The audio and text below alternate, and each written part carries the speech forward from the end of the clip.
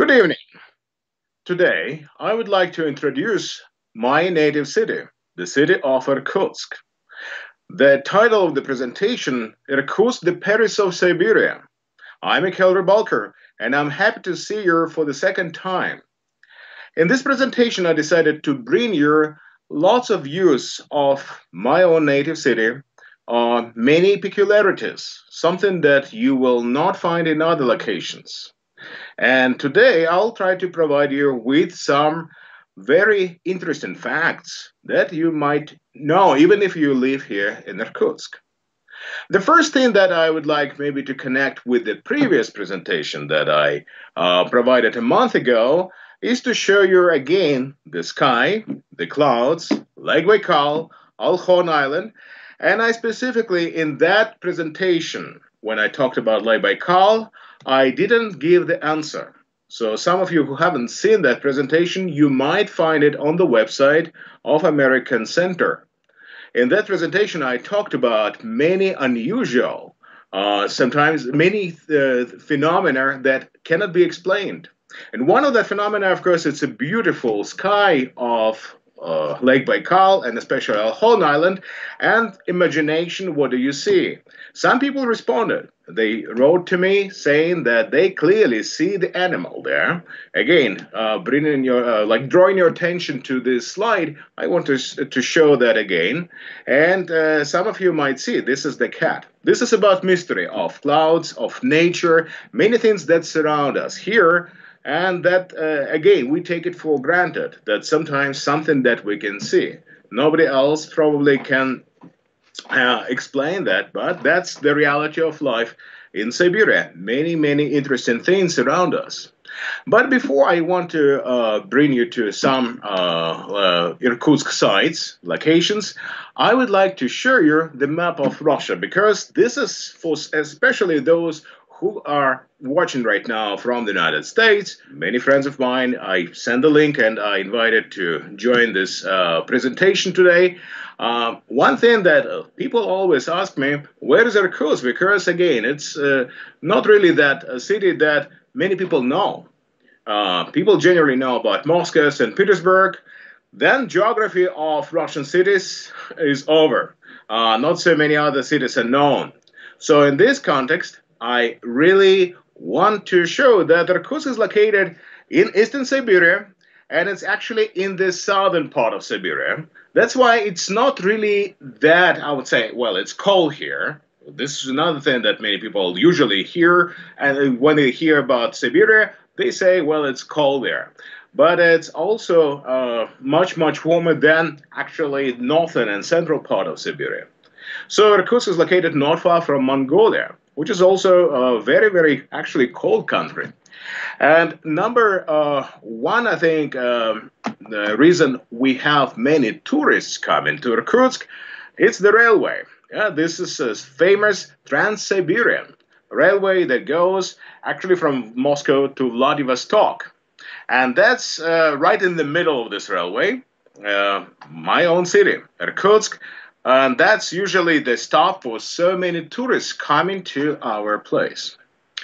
One thing then when we talk about Eastern Siberia as a tourist center, we clearly have many uh, people coming here simply to see something specific. They usually read about Lake Baikal. Well, it's nature. It's a lot of things that uh, people want to find out about life in Russia. Uh, of course, right now we don't have so many visitors. That's quite obvious.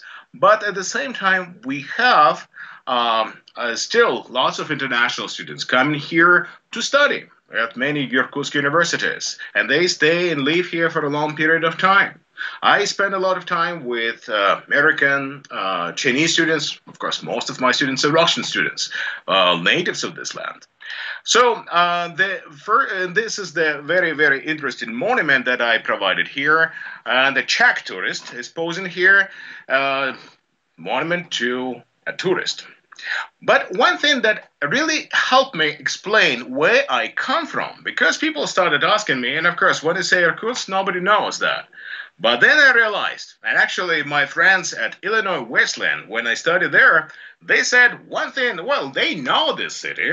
It turns out that many people play a very famous game Risk. It's not known really in Russia, but one thing I want to share to you that this is actually a very interesting game, game of conquest. It's the only uh, uh, winner game. Yeah, uh, just nobody uh, uh, usually can last forever uh, in this game because it's a very long one. Uh, people uh, generally like to spend uh, the whole night playing this interesting game when you really need to dominate, find, find your own countries. Uh, again, risk might come to Russia. Uh, I have, uh, I think I, I am the first person who brought this game, at least here in Irkutsk has Shown, I have shown to many, many friends of mine, and everybody was a little bit, I would say, uh, surprised. Yeah, because it clearly says there is a whole land of Irkutsk. It's much bigger, of course, than really Irkutsk Oblast. And um, uh, the game is also known for having a very very big plot of like European part of Russia. Right now it's Russia. Before in the 1990s it was Ukraine. So and again, lot it's it's a French game. It's actually not really American game. And uh, again, the game is uh, really really fan, uh, fantastic. But uh, showing you Irkutsk, Yakutsk, Kamchatka, you can clearly see that uh, again this name uh, rings a bell for lots of uh, people especially those who come from their mm, universities well uh, what is irkutsk? Irkutsk first of all it's a city but then it's actually a very large territory. We usually like to compare that many many countries in europe can be put on the territory on the uh, on the irkutsk oblast size. So it's it's huge. It's much bigger than france of course and several other european countries. Generally siberian territories are vast. Yeah, you can. It takes uh, three days, literally, here again, to go from Irkutsk to Moscow, from Irkutsk to Almaty, to, from Irkutsk to Vladivostok, from Irkutsk to Beijing. So we are in the center of Eurasia, as we like to boast, and sometimes to say that uh, we are in the heart uh, of their uh, of, of Eurasian continent. So, uh, Irkutsk is a very, very large territory, uh, meaning that, of course, lots of northern territories are pretty cold. Southern parts are much, much better. But again, still, we have winter when, and lots of, this is a typical question from many, many friends of mine in America, how cold it was uh, when you live there. And I said, well, it's usually minus 40 uh, in, in winter, uh, in, in January. Again, this winter was warmer. Uh, we hardly uh, had, uh, I think, any days when it was below minus 30. Again, minus 40 Fahrenheit, minus 40 Celsius, it's pretty much identical, uh, the same. So uh, the, the, the temperatures in winter, of course, much cooler than in the European part of Russia. And the main reason for that is that we have the winds and basically open terrain in the north, coming from the Arctic. So remember, Gulf Stream comes to the Atlantic, brings all the warmth, but then it continues. It goes actually to European part of the country. That's why in St. Petersburg it's much much warmer because of the Baltic. It's actually relatively warm, uh, warmer in Moscow, where of course the main problem is humidity in winter. Irkutsk is generally very very dry, but then all these winds, all these torrents, they come to the area of southern Siberia because there are no mountains. Mountains are in the south, mountains are in the east, blocking us from the Pacific, blocking us from the southern winds. And in this case, of course, climate is, is much, much cooler and colder. Although, again, right now, and it's probably like a, envisioning that some of you might ask this question what temperatures are right now. Uh, it's about, uh, well, there were several, they have just been several days, Meyer plus 30 Celsius. So it's and again, it's uh, it's pretty common in in uh, summertime to have very very warm days, but then temperatures go down again in uh, in the evening and at night it's much much cooler. But then again, the sun's uh, the sun warms it up. So uh, talking about another big thing, so simply to orient what time zone we live in, uh, since Russia has a, a large number of uh, time zones, we live actually in Beijing time. So Beijing, Mongolia, Irkutsk has the same time, time zone. So uh, five hours earlier than Moscow. So generally, uh, one thing that uh, lots of people uh, probably are a little bit uh, surprised to see this title, Siberia and Paris, Siberia and St. Petersburg. Some, uh, I think this is what Irkutsk citizens like to boast, like to say, well, this is something that we want to emphasize that we are special. It's one thing that uh, we usually like to compare ourselves. Of course, it's not really Paris. Of course, it's not really big as St. Petersburg, but it has its own beauty. It has its own, I would say, unique style. This is one thing that Irkutsk is very different from other Siberian cities. I traveled a lot, and I've been, of course, to many American cities, many American states, uh, traveled uh, in, uh, in the Russian Federation. And I saw many cities, especially in Siberia, they don't have this, as we say, soul or unique nature or something specific again. And when we live here in Irkutsk, we we take it for granted that all the city, uh, especially downtown streets, they should be historical. They should be well decorated, uh, and lots of again wooden buildings. That's another big thing that Irkutsk is very famous for, keeping its wooden heritage. Another important moment when we talk about Irkutsk and why Siberia was uh, Siberia in Paris and Siberia in St. Petersburg, we need to re recollect Anton Pavlovich Chekhov who visited Irkutsk in the late 19th century. He traveled here, he traveled to Sakhalin Island, but Chekhov came here. And uh, Chekhov uh, really admired Irkutsk. He noted, he wrote that it's really intellectual city. The city having um, its own uh, European type of the city life. Uh, that is again very, very different from other Siberian cities. So Anton Chekhov really saw that uh, Irkutsk is also very intellectual, having a lot of people who are called, in Russian, these are intelligentsia, intellectuals. This is the term which we need specifically, of course, explain that, again, people, uh, very well-educated people, that is, again, a certain feature of Irkutsk today, when we have lots of universities, lots of research centers, and that's when we really have lots of people who think about the future, who think about uh, many other aspects of life.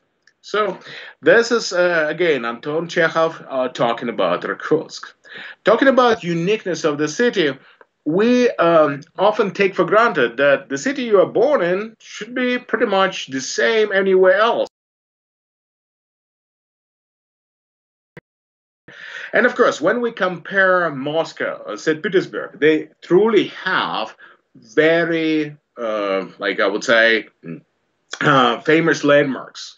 A lot of uh, lots of different projects, lots of uh, beautiful architecture structures, something that we can admire uh, and visit and see, and uh, of course, lots of Siberian cities, lots of other regional cities, they cannot, of course, really have so much money for these projects. They cannot really provide something like splendid, uh, uh, like shocking in many cases, breathtaking.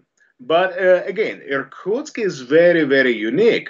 And I realized, I think, when I lived in um, many other cities, where I usually visited many cities, uh, but in America, I lived in three cities that I would like to name, and perhaps maybe in the future I might talk a little bit more about my American experience. Um, I lived in the cities, and I uh, at first I didn't uh, really expect uh, them uh, to have. Mm, uh, maybe this like particular specific uh, lifestyle that was completely different uh, from what I expected in in, in Irkutsk. Um, again, the cities they would have uh, a lot of interesting things. Um, again, just uh, some people say ordinary cities, okay? But uh, at first, I lived in, in Bloomington Normal for one year in Illinois, and that is that was again not far from Chicago. Uh, that uh, lots of wonderful people I met there, lots of friends I made, and again, this is uh, a unique place. Again, when you really like go there and see so many uh, interesting parks, again, universities, really hubs, centers of intellectual life. Again, um, the reason I went there, I was an exchange student. I came to America to study, and again, I returned and I returned, and I again, I really saw many, many other like states and uh, locations. The second city that I lived for two years now, it was Muncie, Indiana. Again, another wonderful place, another location that. Um, uh, again, lots of people think that uh, it's rather provincial. Yeah, it has its own beauty. The cities are much smaller, of course, than Irkutsk, uh, but the cities also had lots of friendly people. And again, just uh, uh, that was my American experience when you really like uh, come try to compare them with the world I knew in Russia at that time. And the last city, the way I spent seven years of my life, is Lubbock, Texas uh, Texas Tech, where I went to. And again, uh, these are the cities that, uh, um, and again, when we really discussed that with my American friends, one thing that um, they lacked was, again, historical legacy, something that we see in Irkutsk. And we take it for granted. We think, well, it's everywhere. We should see some history, uh, historical monuments, historical features. Uh, again, even in Siberia, we find lots of cities created, uh, uh, built in the Soviet era, and they don't really have a lot of historical legacy. So, in this context, uh, Irkutsk is uh, rich in history. It really has all these connections that I would like to point out today that really bring this story of history, this story of Russia uh, because it's right in the middle. It's right in the middle of so many events that uh, will be surprised. Okay, Irkutsk is there. Irkutsk is there. Uh, the city that really uh, played a certain big role in in lots of things.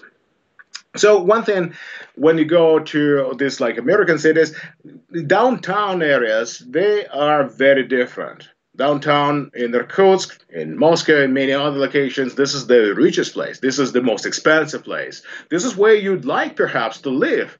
Uh, but uh, again, in America, um, again, we are not talking big about big cities, but when we discuss a lot of things uh, about life of the people, downtown areas uh, well, sometimes they're not really in good uh, conditions. This is not really the place where lots of people want to stay, want to live. They, they prefer to live in suburbs. And again, we have pretty much the same trend in Irkutsk now. Lots of rich people, lots of people who have ability and power, they would like to live, of course, outside of the city in the beautiful suburbs. And the same uh, trend is pretty much all, everywhere. Uh, but another thing uh, that I would like to say, Irkutsk is different in many, many things. And it has, again, lots of, lots of interesting things that really capture your imagination. Um, first, uh, uh there were pioneers of Siberia. These are the people, they're generally known as Cossacks, who founded many, many Siberian locations, and we have lots of monuments to them. The people who built Siberia the people who came to, from European part of the country and again uh, settled uh, in these uh, far remote areas in the 17th century. That's the city of Irkutsk, uh, located again, uh, uh, founded in 1661. Okay, as a fort first, and then the city in 1686. The next uh, thing that I'd like to show here, it's again the place where Kuz really started, the so-called fort.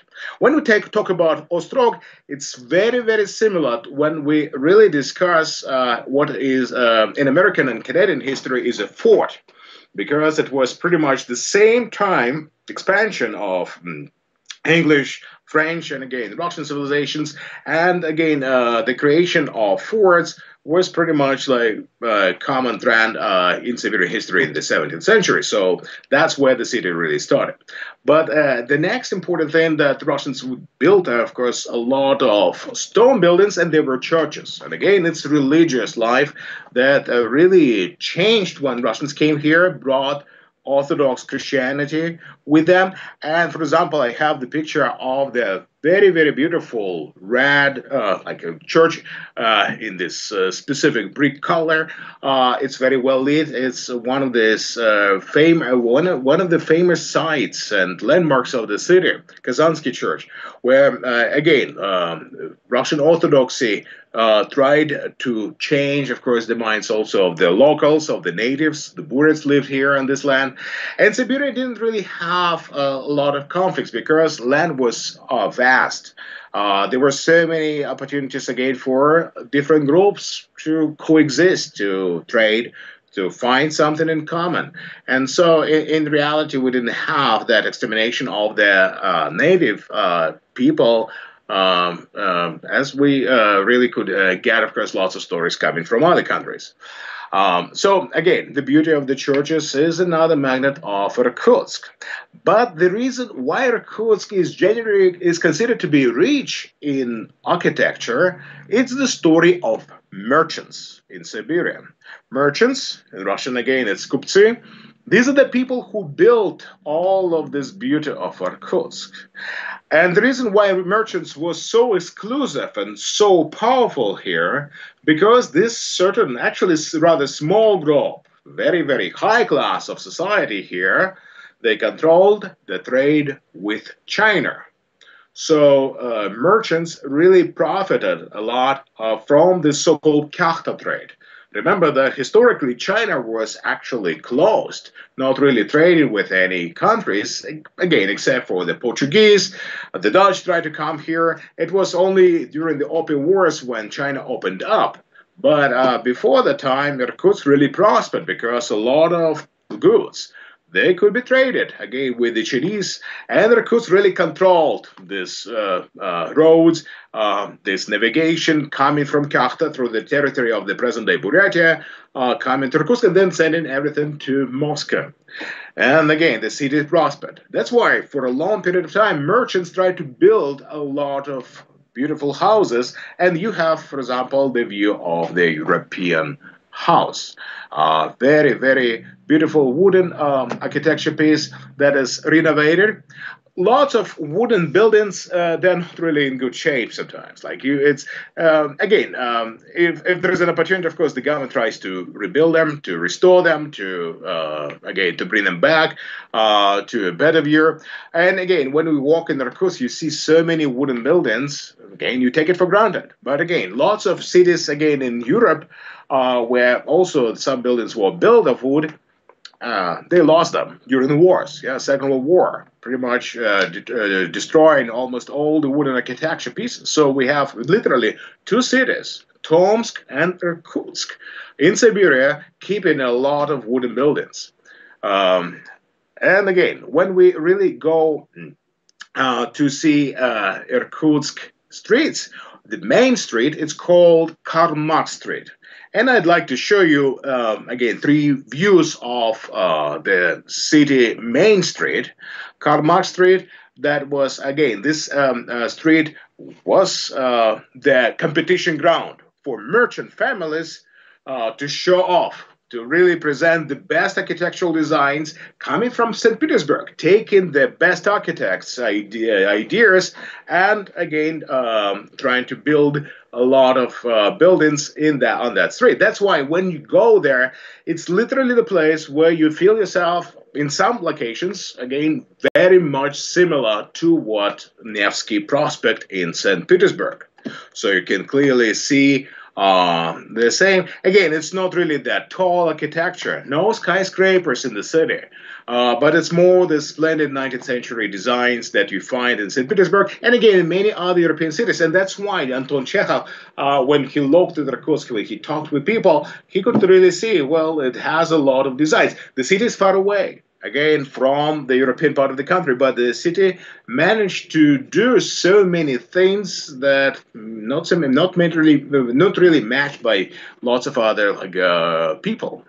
So when we go to the next like view, these are beautiful cities, and again, when you like in Moscow, it's also nice to walk in, in the areas, not only only in the main street, but then the streets, which is and again, and in in Moscow uh, uh, names again, we have Pereulok. Okay, we have these side streets where you can uh, walk around and uh, see the beauty of more quiet, relaxed life of ordinary citizens.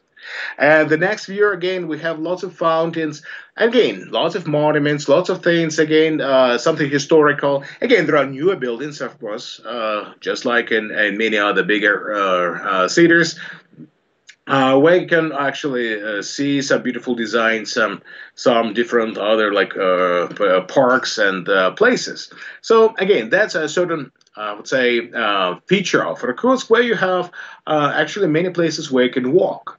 And again, walking is another thing that I uh, first at first uh, at first when I came to America, I was uh, I was shocked uh, to see that people don't normally walk; they drive. And this is the trend now for our society. Irkutsk is the city where you can drive. It's not like Moscow where you basically don't really have a good opportunity because of the traffic jams. Uh, so you use a subway system. No subway here. The city has 600,000 people, so we don't really have subway uh, um, uh, development. But uh, yes, there are uh, lots of different traffic jams, but it's possible for uh, for lots of citizens to use public transportation and also to drive if you want to. Again, and getting anywhere uh, just using your own car, it's of course it has become much much easier, uh, especially during these quarantine times.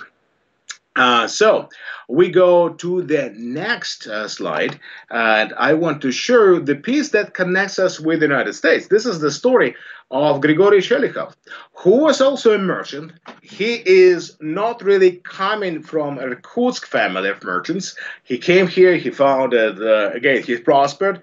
He created a lot of wealth, um, trading with China, and then he started investing his wealth in this in his own expeditions, going to Alaska, and you can see the expansion of the Russian Empire. And it turns out that Irkutsk, being a political center, being a hub of many many uh, like uh, routes that we find here in Siberia, roads connecting us with different places. Irkutsk was a place where. Uh, uh, merchants uh, they tried to find more different animals, uh, pelts, furs, and Alaska was the next place. At that time, it was not really um, uh, known uh, to uh, many people in the in the world. lots of these remote places were discovered and very well described by Bering. Uh, there were other Russian uh, uh, these travelers who came to this location.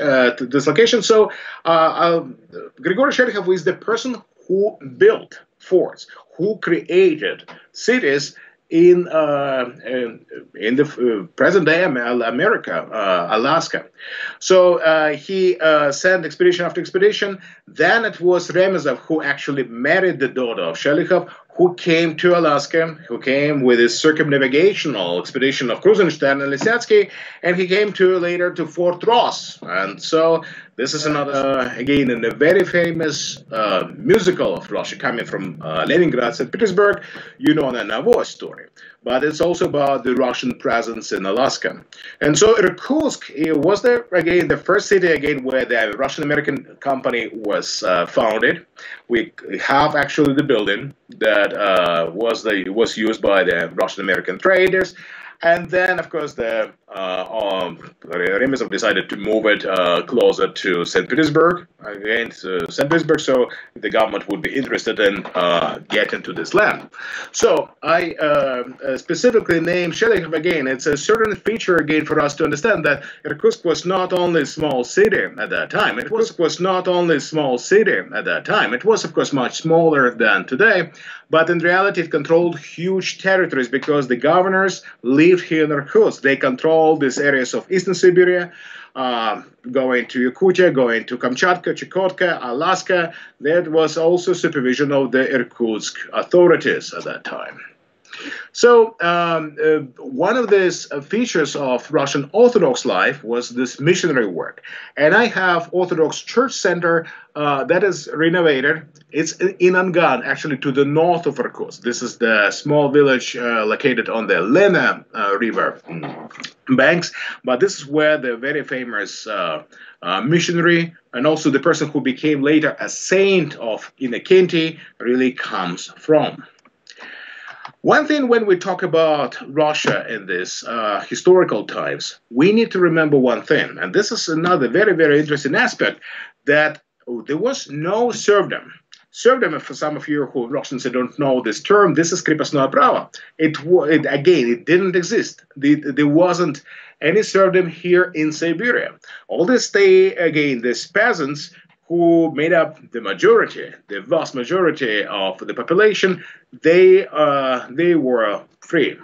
Uh, they were free again as state, uh, uh again peasants. They lived in these communities of villages. One thing when you travel to uh, different museums, you find one thing that in Siberia, the main thing again is to warm up. Another thing is again, you can only get things, you can only harvest uh, grain and other products being together in a collective uh, certain labor force. So these peasants lived in villages and again uh, could find more and more tracts of land. Land was uh, actually much bigger here. And again, people could uh, uh, manage easily finding fish again, finding lots of other resources. One thing as a historian, uh, that is actually very, very interesting to see that in reality, life here was much better than in the in, in other parts of the, of the country because again, there wasn't any famine. In reality, there was fish. Uh, yeah, there were difficult times during the wars, especially the Second World War, but uh, there wasn't anything uh, like we know uh, the story of, of course, uh, the famine in the Volga area or Ukraine later. So uh, this, these peasants were actually richer if you look at the Siberian population, and they could uh, have more property, uh, more resources for them, for themselves. So if you go uh, and travel, let's say in Buryatia, to some these old villages, you find that again these uh, peasants they could sometimes make a lot of uh, money uh, again participating in this trade, but also selling, providing goods and resources. So one thing that usually people also know about Siberia, and there is a recent film about Decembrists. It's a story of Decembrists being here in Irkutsk. Um, so the uh, December story uh, goes that again, for, at first they were sent to the Chita area, but later the Tsar allowed them to stay and live close to Irkutsk. Some of them, Decembrists like Trubetskoy and Volkonsky, they stayed and lived here in the city of Irkutsk. Some of them again, their relatives, uh, their um, uh, like why, like for example, uh, Trubetskaya, Katerina Trubetskaya, she died here later. Uh, so the, the same fate actually waited for, for, for their children. But again, in, in, reality, uh, many of them moved out later of Siberia uh, their descendants. And actually, we find more Decembrist families now scattered around the world, but mostly in the United States and also in France and Belgium and other countries. So this is the story of Decembrists. It's a very interesting moment how the locals uh, they treated Decembrists because for them they were the people of the highest education, of the highest aristocratic stock that you could find. Of course, in Siberia, lots of people were peasants. Uh, the administrators were sent from St. Petersburg. Um, uh, in, in reality, um, uh, not so many people could see and communicate easily with uh, the representative of these very, very high uh, aristocratic families. So mm, the influence was tremendous. Uh, they brought a lot of innovations. For example, Maria Volkonskaya, whose house we see here, uh, she brought lots of biological plants and trees and also tried to provide us with um, uh, some again uh, specific evenings, uh, readings, poems. This is certain feature of Russia. Poems are very, very much important. We take it for granted, but again, it's very, very different than other countries. Uh, talking about literature, talking about reading, knowledge of languages. Again, all these aspirations, they were really, uh, I would say, uh, uh, shown, first of all, in the lives of Decembrists, but then affected, of course, the whole society, especially here in Irkutsk. So the impact is, again, uh, uh is uh, very, very tremendous. And one thing that we find, uh, for example, in the next slide, is the White House. Irkutsk is actually happy to have the second White House, which, uh, which is only four years younger than the American counterpart in, in Washington. It's, again, Quarenghi design, very very beautiful building belonging to Irkutsk State University. So it has again the like the, this was the center of governor's office, administrator's office. We find um, uh, lots of uh, uh, again uh, productive, uh, efficient works of these governors. One of that was the um, the Russian uh, move to the east. And Muravyov-Amursky, who is uh, probably the most famous governor, resided in this building, signing lots of different uh, treaties with uh, with the Chinese. So that is again the legacy of the uh, of this 19th century architecture. Another very very famous uh, feature of Siberia, and for many people it was exile. Uh, exile, and again, there was also exile where people had to be banished. They had to leave their own places, and they had to stay and live in Irkutsk. And it turns out that Irkutsk was the main hub not only for the Russians and the Buryats, of course, who lived nearby, who lived to the north of Irkutsk, to the south of Irkutsk, uh, but also to many other different groups who came here voluntarily and sometimes not voluntarily. One of these groups that I want to emphasize were the Poles, that for a long period of time, Poles made up a very big chunk of the population because so many of them were sent after the uprising against the Tsar in the 1860s. And that's why Irkutsk really has a very active Polish society with lots of, again, people uh, who came from Poland. Mm, they contributed a lot to the intellectual development of uh, many different branches of sciences because they were teachers, because they were very well educated. So we really have Poles who are very different from the Poles from Chicago. So Poles, Polish last name usually means one thing. It's a very arist- high aristocratic, uh, aristocratic uh, uh, uh, class background. Uh, because again they were all very well educated. They were the ones who thought critically about many things. They came in uh, to they lived. They actually mixed with russian population. Now it's more assimilated of course population. But we still have legacy. We have um, beautiful catholic churches it's another story. Irkutsk is multi-ethnic and also multi-religious center having many different groups who came here and stayed here and uh, became very famous. Uh, like Poles, they uh, there were so many famous researchers of Lake Baikal. Those people who came to many geological expeditions. Another very interesting aspect is the Irkutsk Jewish life. We have actually one of the most beautiful synagogues in Russia. And also, Irkutsk Jewish community is actually very, very important in the commercial life, in the business life, in the political life of the, of the city. And I would say we know generally Birobidzhan as being the center of the Jewish oblast, but it's actually a smaller uh, settlement and it's a very remote one. We also have Jewish people, of course, living in St. Petersburg and Moscow and Novosibirsk. Uh, but it turns out that Irkutsk, probably, I would say, is one of the uh, biggest cities uh, with uh, uh, for the people with Jewish roots. So literally, when you start communicating with lots of people, Irkutsk residents, uh, people say, well, yes, my ancestors, they were Jewish. So it's pretty much like half of the people I know, probably in Irkutsk here, they have Jewish roots. So that that's again that's a very very interesting aspect of life, and again it talks about multi-ethnic, uh, multi-religious. For example, this Jewish synagogue is located on the same street. Mm where we have also the um, uh, Muslim uh, specific uh, uh center.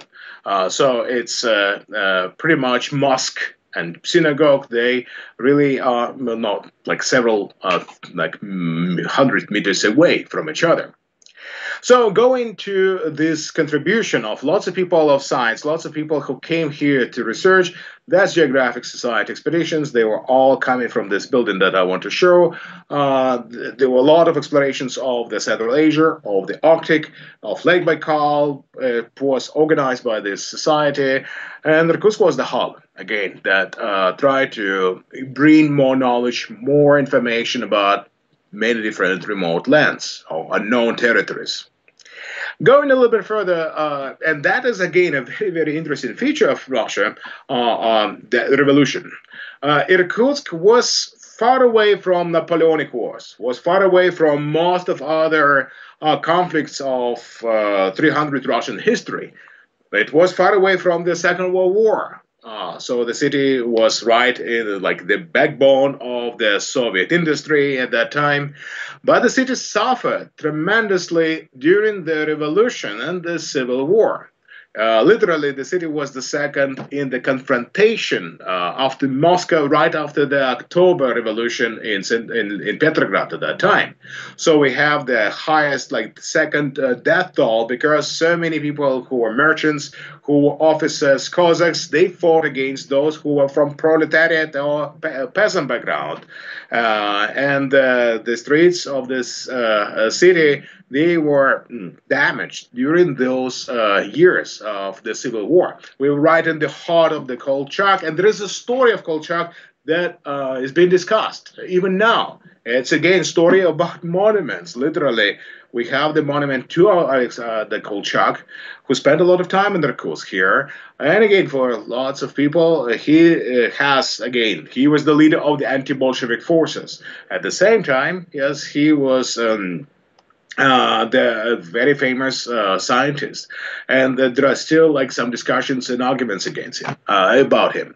So when we talk about Irkutsk and the legacy, some people say even of Kolchak, but this is actually the Soviet development that really tremendously changed a lot of things here. That Irkutsk became this university hub for lots of residents, not only of the oblast but also Eastern Siberia, uh, Far East, and we have uh, a lot of people, like basically one fifth of the population. Uh, these are students who come here for some period of time, they study. And again, there are so many universities, not only Russian students, but again, we have Chinese students coming to the, let's say, BRICS programs. Yeah, we have lots of students who come uh, from uh, like Europe and the United States. Like I personally work with Middlebury programs uh, with the students coming from the School of Russian and Asian Studies. So we have a lot of uh, students uh, coming from other lands, and they all find this fascinating cultural life, nightlife, lots of other opportunities that city really can provide. Another interesting aspect of the city, there are many people who are born in Siberia, uh, in, in, in especially the Irkutsk area. We like Matsuev, yeah, because he's coming from here. But we have lots of other like uh, famous people, and probably there is not really much time to discuss all of them. But for example, the monument to the Soviet director, Gaidai, uh, who uh, spent a lot of time again in Irkutsk, uh, and it's a very famous film that some of you who watch the Soviet comedies, this is one of the best ones, uh, can really recognize. Again, Gaidai comedy is considered to be the best of the best, and again, he comes from Irkutsk.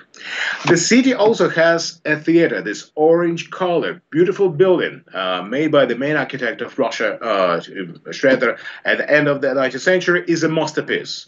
The city is, uh, um, uh, first of all, is very fascinated because of these theatrical uh, performances, uh, uh, activities, that cultural activities that are constantly provided for us. And so the next piece that I would like to also to emphasize is embankment. In other words, it's a riverside. And this is actually a very, very beautiful mm, promenade mm, the place where you can walk and run and exercise. And it's a very, very long stretch of, uh, of this uh, boulevard, and uh, where uh, which we take for granted. But this is something that I missed in America because you don't really find this beautiful, like huge rivers. Yeah, uh, so we don't really like have. Uh, uh, we we think that it's everywhere, but in, in reality, this is something. This is the masterpiece of Irkutsk because it's a beautiful fresh air from the Angara River. Remember the river, the only river coming from Lake Baikal. Irkutsk is very very happy to have this. Um, clean water in our pipes. It has also this proximity to nature. Nature is all around us.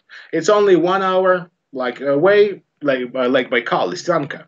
Uh, it's uh, for many people it's 15 minute, 20 minute ride, and it's a dachas. This this idea of your own land and plot of land where you can have your raspberry bushes, honeysuckles, and many other things. This is uh, this is a feature that again let us here. It's around us. It's uh, we really come and visit so many different destinations, and we think it's like everywhere else. Just you really find this nature around you. Uh, in reality, this is of course a pearl of, of something that we have here in Siberia. Another interesting thing, again, it's a beautiful winter. I show this Taltsy village, open a wooden uh, architecture museum, and winter has this beauty. This is what we call white uh, Christmas, dreaming of white Christmas, well, it's you don't need to dream. It's a reality here in Siberia. There's usually a lot of snow, uh, and the snow is sparkling white. It's so beautiful, and lots of wooden things that you can do. Of course, winter sports that you can exercise. Summer sports you can exercise here. River activities you can really um, like find all the time in this uh, water reservoir. So it's a reality of our life. Uh, what we find. It's a, it's the first question that we might be ask us if you come here, uh, okay, we'd like to go to Baikal, okay, uh, do you go on this trail? Yeah, basically, it's one thing. People, when they ask you about the weekend, uh, well, before again these times, uh, everybody's expected to say that you at least travel to like Baikal maybe once you go somewhere uh, simply to stay. Again, camping is common. Again, uh, boat rides, fishing, all these things that you think, well, this is a certain feature that we. Uh, again, uh, we can find it uh, very, very peculiar. And Irkutsk Dam, uh, this is uh, the uh, very actually famous Soviet construction, changed, of course, climate here this is something that, again, those who are from Russia, you need to understand that dams are not really uh, a good idea for many, many American uh, planners right now. So dams are actually changed America. But in reality, here we have a lot of dam constructions that provide us with, um, uh, I think, the cheapest energy in the world.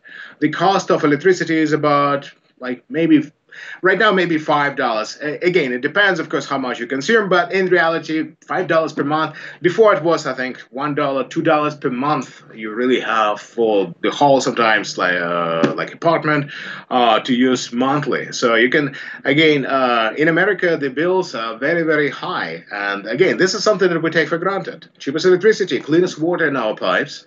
But also another thing that, again, lots of people sometimes can acknowledge they really have the form farm I'm talking about is connected with the cheapest electricity. It's Bitcoin. So Bitcoin industry, something in the air. Again, uh, we really have uh, lots of speculations right now whether it's going to be like uh, continued. Lots of stories about Bitcoin, but that's a certain reality that people have minds. And from time to time in the press, you find that lots of organizations sometimes invest into that. So another interesting thing, and that is. Uh, um, mm, uh, what I really have mm, is uh, the malls that uh, really are important. You can find them in many different locations. Something that I, when I came to, from America in the 1990s, I was talking about malls and I had to explain what it is. Um, uh, it, the malls, again, just this new architecture, contemporary architecture. We find, again, all of this interesting uh, uh, new innovations, economic boom architecture of the zeros. Uh, people call it sometimes Putin's boom. Uh, yes, the city really benefited. Uh, the city really changed to the better. So those who remember Irkutsk of the 1990s, where there were not really many different architectural projects, uh, when I came to Bloomington, Illinois, there were lots of projects. Yeah, it was American economic boom of the 1990s. So uh, you in Irkutsk, pretty much there wasn't anything built. But then, of course, in the zeros, lots of things, lots of streets, they were uh, they really changed to the better.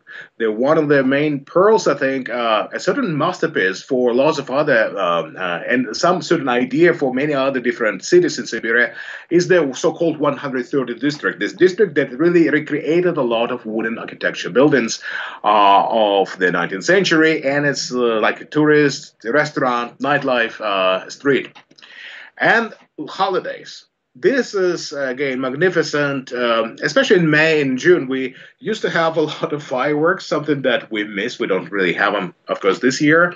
Uh, but again these fireworks and also celebrations uh, we think it's normal. It's like everywhere else but not really. Uh, this is a certain feature like 9th of may. I talked about Victory Day. This is the the very famous city parade very very famous uh, participation of so many different groups society uh, uh, classes of course in this particular event. And you really can um, see people uh, participating uh, freely and uh, happily a lot of celebrations, a lot of dances. For example, for like uh, for the participants, uh, uh, activities to play. Something that I didn't really see. The Fourth of July, yeah, uh, in America you really have, but maybe not really so much communication. This is one thing we like to walk in the city a lot, and also like to communicate, especially during like holidays, uh, like celebrations. This, we really can can see this um, I would say, a happy mood of the population, where people dance, interact, they can they communicate, participate in different activities. Um, lots of ethnic organizations are invited to uh, provide classes and master classes. So it's it's one thing that you constantly need to learn something specific, something new for yourself. It's a certain mind in the course where you want to uh, get better, okay, to change something to the better. Uh, also to think about ourselves as well, it's a capital city. It's not really a provincial city. Uh, we are. Mm, we really have great history. We really have a lot of things that we don't even treasure. Lots of people here don't even treasure lot, uh, all these things that I have mentioned today. So Irkutsk, and I, again, I, I leave it here today with a monument to the Tsar talking about monuments, we have a lot of monuments. We have revolutionary names changed in the revolution, and nothing changed here. We have monuments of Lenin. We have re- we have rebuilt the monument to Alexander. This is our legacy. This is again who we are. Okay, the uh, the people living in this far remote land. Thank you so much for your attention. Thank you for your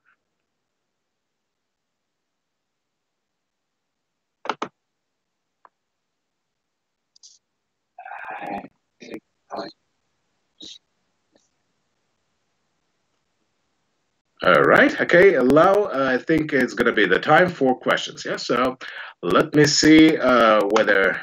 Okay, I can try to read them. So let's go now to the question uh, question session. So we are going to mm, uh, to see. All right. Okay. So I have question number one. Okay. Um, do people uh, who come from Irkutsk have any personality traits that are distinct from those of people who come from other parts of Russia? Okay. What is the Irkutsk character? Very, very interesting um, uh, question. And thinking about the personality traits, um, I think this is something that I, I, I uh, uh, can explain that um, when we talk about Siberia, especially, we are considered to be much more tolerant. Okay, maybe uh, not that emotional, which is not really true, of course. Uh, but in, in reality, Siberians are perceived as those who are very much re resistant in many cases, also persevere, meaning that we can. Um, uh, try to overcome difficulties. We don't surrender. Um, again, uh, Siberians like to boast that Siberian uh, armies really played a very decisive role uh, defeating the Nazi uh, like armies near Moscow in 1941. So, but in reality, yes, the, I haven't. Again, um, sometimes maybe it's uh, some certain stereotype, but maybe it's based on some certain features. Because generally, who are the people who live here? Uh, first of all, they were these pioneers who came uh, from very, very remote lands and uh, from European part of the country first. And uh, they had to go through like a very big, vast tracts of land. So, meaning that if you really surrender, if you really, uh, again, weak, you die. So, and those people who came here they uh, stayed and also Uh, uh, uh, basically uh, left lots of descendants who also uh, like probably inherited some of the traits. so living in Siberia, it's a certain collective, first of all, idea that you need to communicate, you need to trade, you need to also to help and provide help.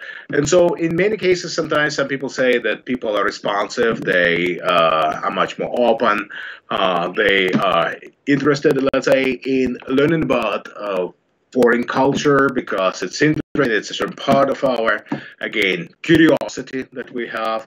Uh, so Irkutsk character, I'm not sure about that, but maybe Irkutsk this character, lots of people who came here, let's say those who came in the Soviet period, where there were lots of stroikas, so many building sites.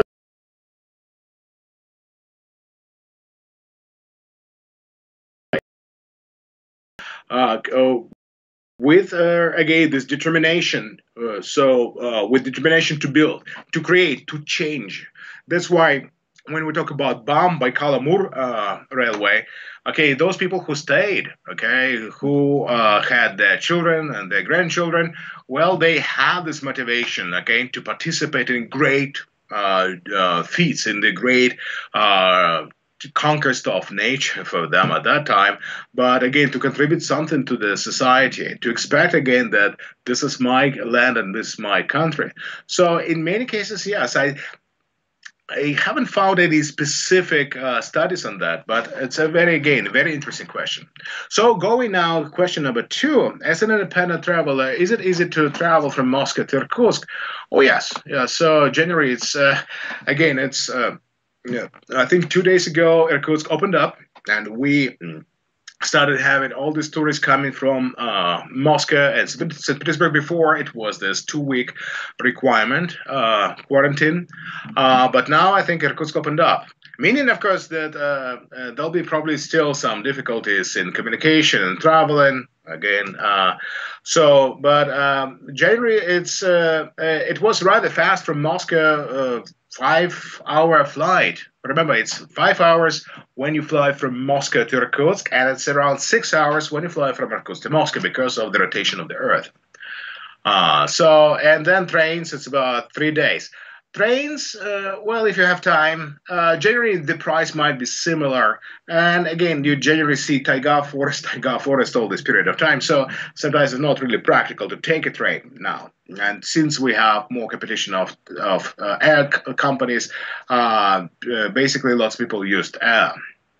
All right, next question. Uh, question number three.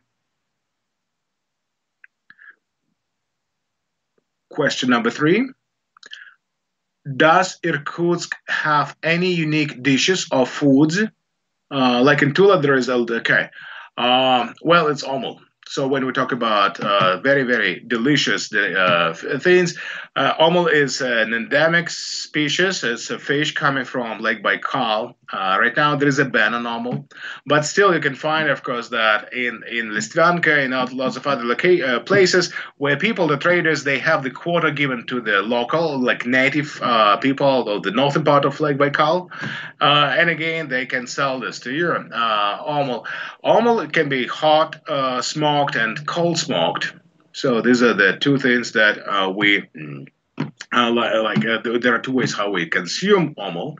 So it has uh, it's a specific. It's basically fish. Fish is the cheapest actually. When you think about that, we can buy in the market like pike, and uh, we ta- we use, we consume a lot of fish. Uh, also cedar nuts. This is another very famous uh, treat, delicatessen coming from Lake Baikal and um, that is uh, um, uh, also when we talk about uh, like pine cones. So these these are the main like very very important things. All right, um, that's uh, basically I think it today. So thank you so much for your attention, and uh, again thank you for your questions. I really hope you uh, that you would enjoy your time here with me. Thank you so much. Goodbye.